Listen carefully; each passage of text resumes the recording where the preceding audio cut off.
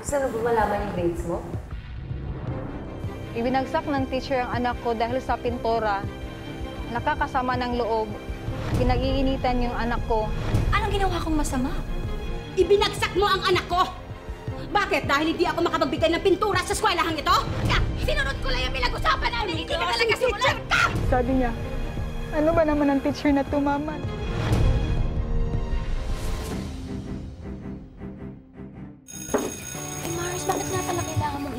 Si Chichay mula dun sa dating school? Eh, maganda naman yung turo doon. Mas mababa kasi ang tuition dito. Tsaka mas malapit sa trabaho ko, sa burgeran. Mahal na kasi mga bilihin, ang daming gastos. Okay lang yan, Mars. Wala naman sa eskwelahan yan. Nasa estudyante yan. Kaya, Chichay, pagbutihan mo pag-aaral mo, ha? Nak, bakit ang tahimik mo? May problema ba? Hindi mo ba gusto tong eskwelahan? Okay lang po, Nay. Um, naiintindihan ko naman po kung bakit niyo ako nilipat. Kinakabahan lang po talaga ako kasi baka di po nila ako magustuhan dito. Hindi ka nila magugustuhan. Bakit naman? Magugustuhan ka nila. Yes. Kasi mabait ka, matalino, at maganda. Mana sa nanay. Pumasok ka na. Ito baon mo. Uminom na maraming tubig, ha? O, at kumain, huwag mong papalipas.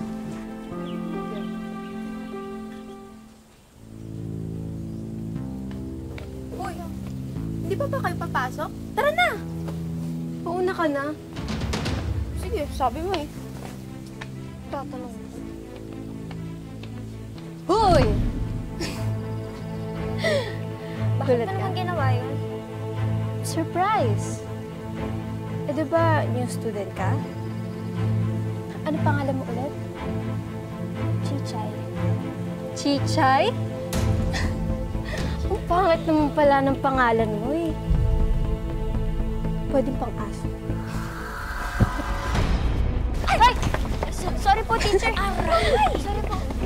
Kasi Ano ka ba? Nagdadahilan ka ba? Hindi ka talaga marunong tumingin sa dinadaanan mo, no? Anong ginagawa mo dito? Late ka na! Go to your classroom! Ano? Stop looking at me! Go!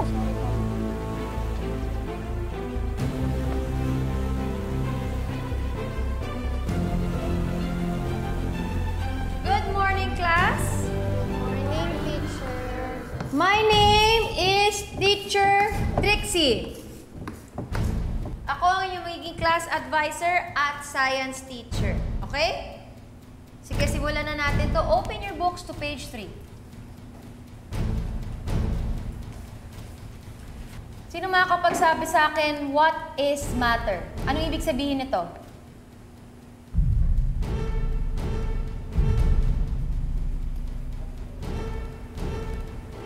Yung new student. Tayo. Anong pangalan mo? Chichay po. Alam mo yung sagot sa tanong ko? What is matter? Matter is anything that occupies space and has mass. What are the states of matter? Solid, liquid, and gas. Can you give me a form of gas? Water vapor, oxygen. Sige na, umupo ka na. Okay na yan. Mag-test na lang tayo. Page 95. Bida, bida. Five minutes kayo para tapusin yan.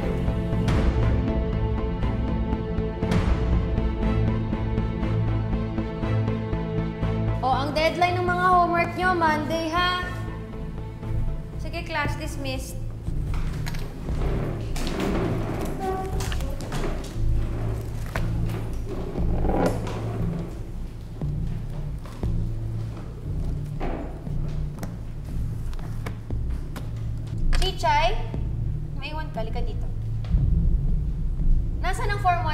137 mo? Hindi ba dapat bago ka pumasok dito sa school na to, ay may nabigay mo na sa akin yung Form 137 mo? Requirement yan. Ang bilis-bilis mo sumagot kanina, ba't di ka makasagot ngayon? Nasaan na yung Form 137 mo? Chichay! Eh, excuse me, ma ma'am. Ako si Banji, nanay ni Chichay. May problema ba sa anak ko? Ako si Teacher Trixie, ang advisor ng anak mo, Mrs. Ang problema ng anak mo, eh wala pa yung Form 137 niya. Miss Vanji, alam mo naman na bago pa sila pumasok dito sa eskwelahan nito, ay kailangan yung Form 137 mula sa dati niyang school. Ah, ah sikasuhin ko ka agad para maibigay ko sa inyo. Aba, dapat lang! Hindi pwedeng pinaghihintay ako dito. Baka mamaya magka-problema tayo niyan.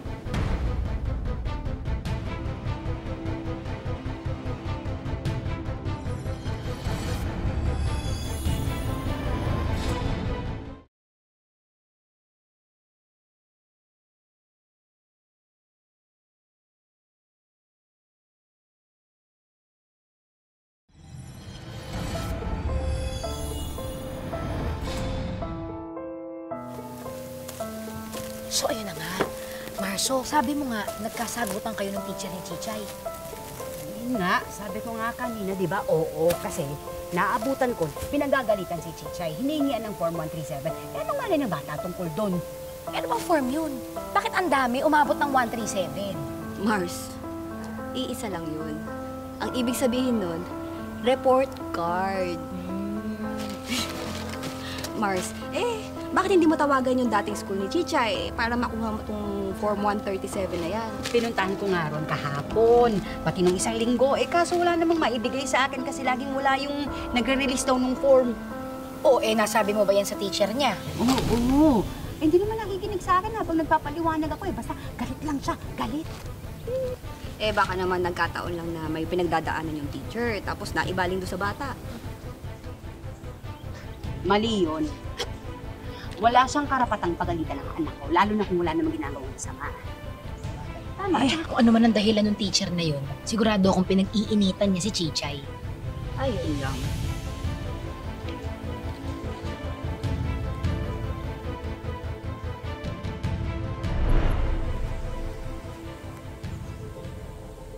Oh, Miss Vanji, isang buwan na. Asan yung Form 137 ng anak mo? Eh, pasensya na, pasensya na, Ma'am Trixie. Eh, ilang beses na akong pabalik-balik dun sa dating eskwelahan ni Chichay, pero ah, lagi kasing wala doon yung in charge ng pagre-release ng Form 137, kaya hindi ko pa po maibibigay sa inyo. Baka naman hindi mo fina-follow up kaya hindi mo makuha-kuha. Napakawalang kwenta mo namang ina, Form 137 lang yan. Hindi mo pa makuha para sa anak mo. Huwag mo naman akong pagsalitaan ng ganyan. Hindi ako pabaya, lalo na sa anak ko.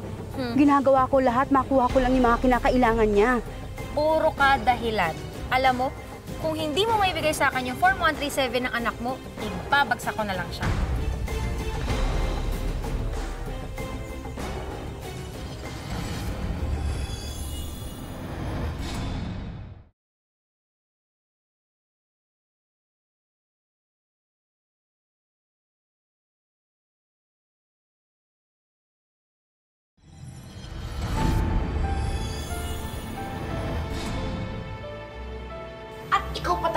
Ang sinabihang walang kakwenta-kwentang ina? Ikaw na hindi ka na nga magkanda ugaga sa kakatrabaho mo para kay Chichay? Fair. Principal ka ba yan? Umalis ka dyan. Baka maabutan ka ng staff. Halian mo. Alam nyo, maswerte talaga yung Ma'am Trixie na yan at may paggalang ako sa mga teacher. Kung hindi, Yun ako. At saka, normal ba sa mga teachers ang magsabi ng masama sa magulang ng estudyante niya? Mga teachers, bayani yan. Pero itong isang naku, napakabastos, napakabastos talaga. Mahirap tayo pero di tayo papaapi dyan. Kaya nga, kailangan sisiguraduhin ko na makukuha ko na talaga yung Form 137 ni Chichay. Dapat. Nang wala nang masabi sa akin yung teacher na yun. Eh, dapat lang na sinakripisyo natin yung isang araw na kikitain natin para sa Form 137 na yan. Ano yung 137? Um, Miss, ano, nandito po kami para kunin yung Form 137 ng anak ko. Um, ayun nga ako, tinignan ko. Nakapagpasa na po ba kayo ng request form galing sa nilipatan? Ay, opo, naipasa ko po nung isang buwan pa. Ah, eh, sabi po, bumalik po ako rito para makuha ko.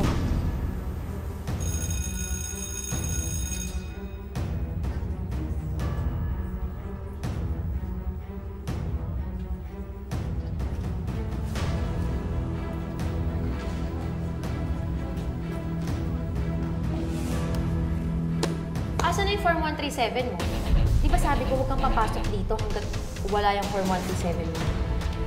Akala ko ba inasikaso na ng nanay mo yan?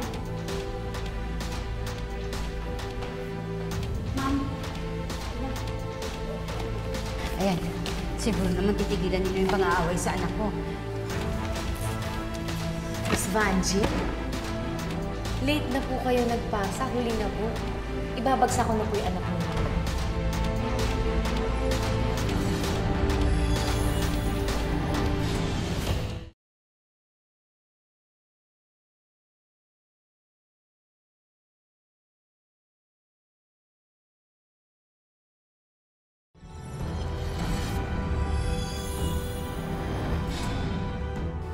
Late na po kayo nagpasa, huli na po. Ibabagsak ko na po yung anak ninyo. Naibigay ko na sa inyo eh. A- ano ba bang problema? Eh, ilang buwan na hinintay ko. Haba na ng palugit na binigay ko sa inyo. Ma'am, huwag niyo namang ibabagsak ang anak ko. Nagkakanda hirap sa pag-aaral yan eh. Tapos ibabagsak niyo lang dahil sa Form 137. Pwede pa naman magbago yung isip ko. Ayun ay kung may bibigay nyo ang pinturang kailangan para dito sa classroom renovation project. Isang lata lang naman po ng pintura ang kailangan sa project na. Di ba, Chichay? Sige.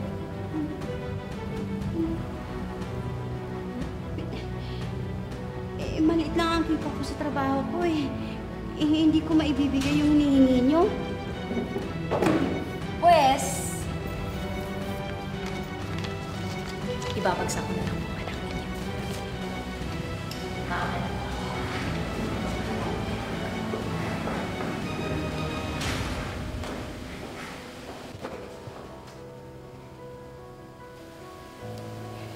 Nay,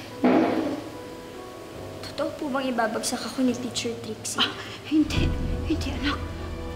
Hindi ko ah, hayaang bumagsak.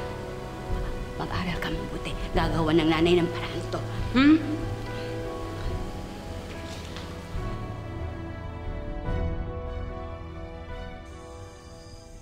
Ano ba yan? Anong pintura? Nung isang araw, Form 137 yung hinihingi. Tapos ngayon, pintura. Hanggang kailan ba yung hingian? Mars, huwag mo naman pwersahin yung sarili mo. Baka naman magkasakit ka niyan at mas lalong lalaki yung gastos mo. Sige ka. Tsaka, naman magagawa nila kung hindi ka makapagbigay ng pintura? Eh, yun nga, sabi ni Ma'am Trixie, Ibabagsak niya si Chichay. Ano? Sinabi niya yun? Ay, napakawalang yung teacher. Grace, congrats. Keep it up. Good job. Chichay.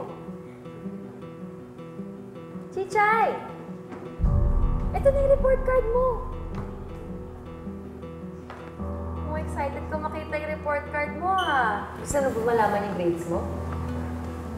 Tignan mo mabuti, ha?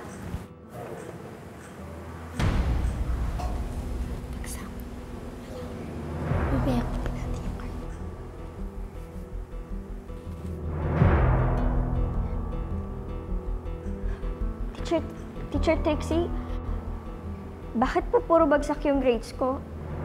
Eh, pasado naman po ako sa mga exams, tsaka po sa recitation. Bakit? Ikaw ba gumawa ng grades mo? Eh, ba't di mo tanongin yung nanay mo bakit ka bagsak? Kala yata ng nanay mo, hindi ko tuti pa rin yung sinasabi ko eh. Pwes ngayon, alam mo na. Pakita mo yan sa kanya.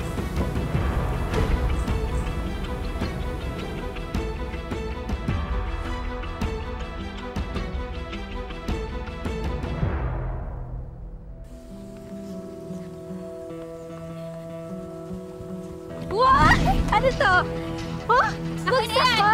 Hoy, ano ka? Tignan mo, bagsak! oh, bakit? Ayaw mo matanggap na bagsak ka?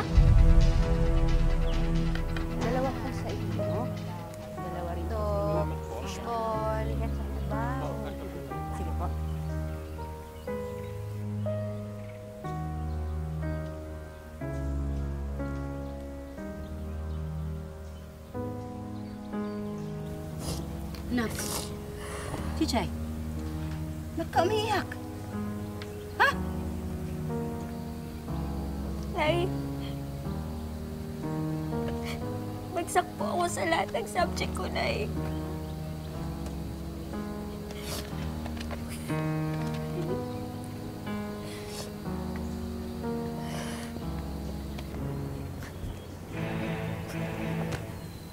Anyari, bakit puro palakol?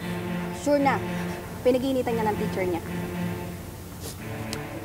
Sumusobra na talaga yung mga Trixie na yan. Hindi ko na ito palalapasin. Mars, Sigurado ka ba dyan?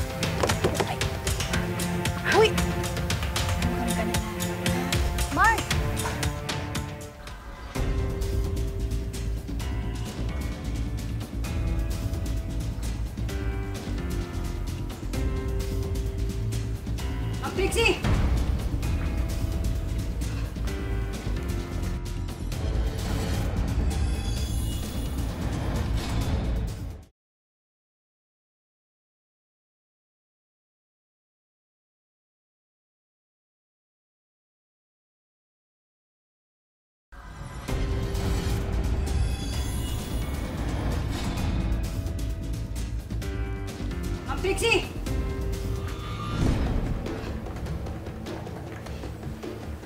Kayo. Kayong mga teacher, ginagalang. Pero sobra-sobra na to eh.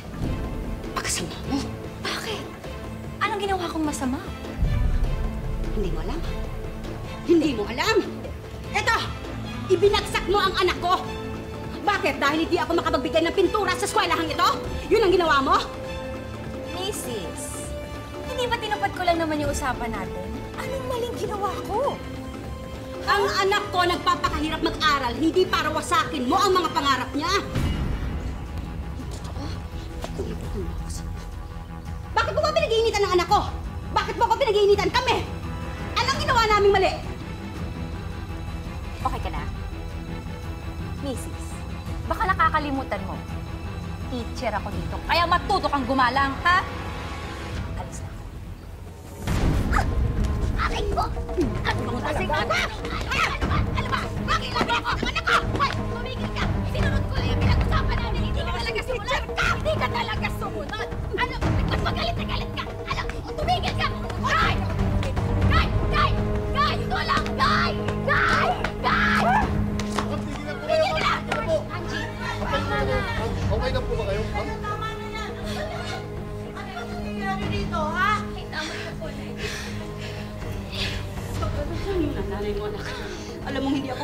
manakit sa'yo kahit na sino. Teacher Trixie, ipaliwanag mo ito sa atin. Eh, ma'am, kasi yung nanay ng estudyante, sinusugod ako. Pinakausap ko lang naman siya ng maayos.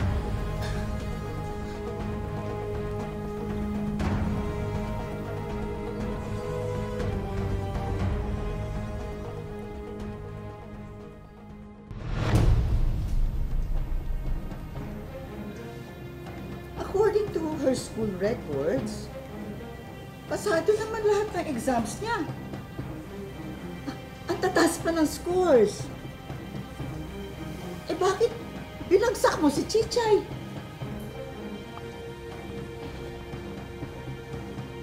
Madam,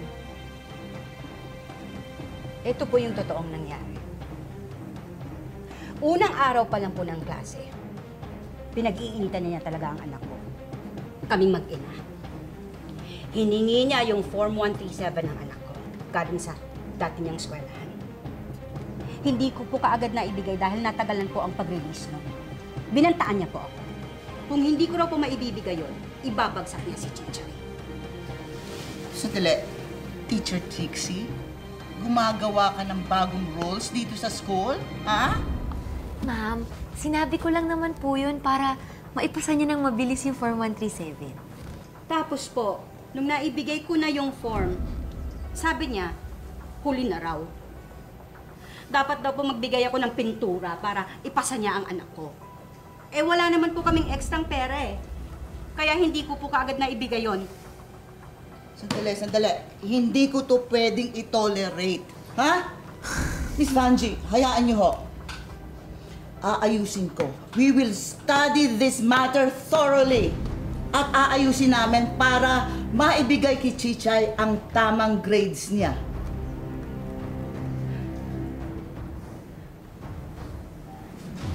Salamat po.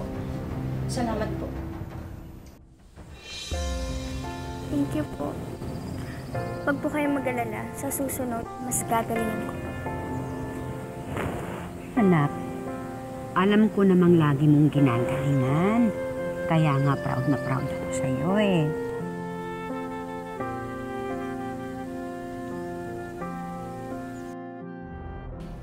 Bayani ang ating mga guro at madalas sila ang tumatayong pangalawang magulang ng ating mga anak. Pero sa kaso ni Vanji, sa halip na turuan, ay tila pinag-initan daw ang kanyang anak. Na-trauma yung anak ko dahil sa ginawa ng teacher. Hirap po kami sa buhay tapos ganun lang ginawa sa amin. Inilapit ng aming team si Vanji sa Department of Education para magsampa ng reklamo laban kay Teacher Trixie. para mag-proceed tayo sa admin proceedings or formal admin proceedings, maglalabas po tayo ng formal charge. Kung sakaling talagang ah, may nagawa yung teacher sa pagpapalit ng grades ng estudyante or ng learners dahil hindi nabigyan ng pintura. It uh, can range from reprimand to suspension to even dismissal. Inilapit din namin si Vanji sa isang legal expert. pwede mo ireklamo administratively yung teacher. Pwede ka mag-file, of course, sa petition ay ng, ng isang complaint sa Philippine PRC, Philippine Regulatory Commission, siya yan ang nagbibigay actually ng lisensya. Kung gusto mo ma-revoke yan, yan pwede.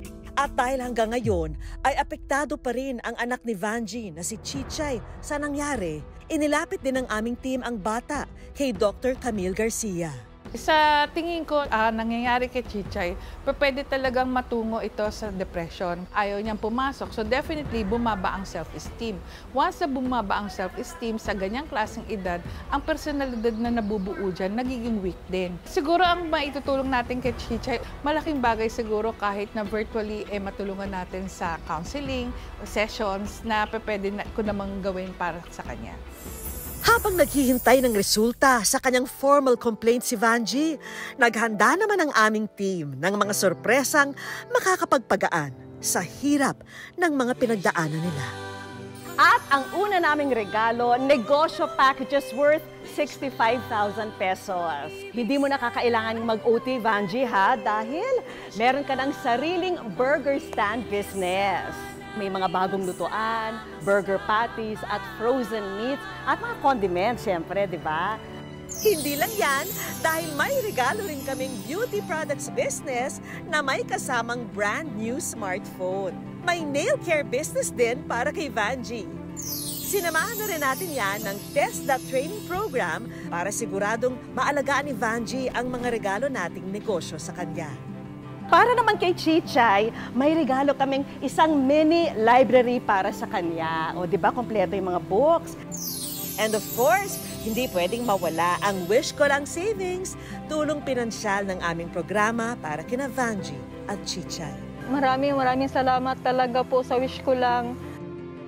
Kinulang man si Chichay sa pagmamahal ng kanyang teacher na itinuring niyang pangalawang magulang, hinding hindi naman siya maubusan ng pagmamahal mula sa kanyang nanay Vanji na gagawin ang lahat para magkaroon siya ng magandang kinabukasan. Mga kapuso, lagi po natin tatandaan, hanggat hindi tayo napapagod, humiling at maniwala, hindi tayo mapapagod lumaban sa buhay. Ako po si Vicky Morales at ito po ang bagong Wish Ko Lang.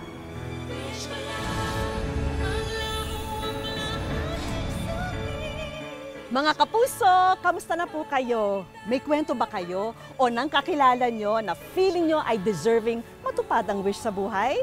I-comment na yan o i-message dito sa aming official Facebook page at promise, babasahin po yan ng aming team. At malay nyo, story nyo na ang susunod naming mapili.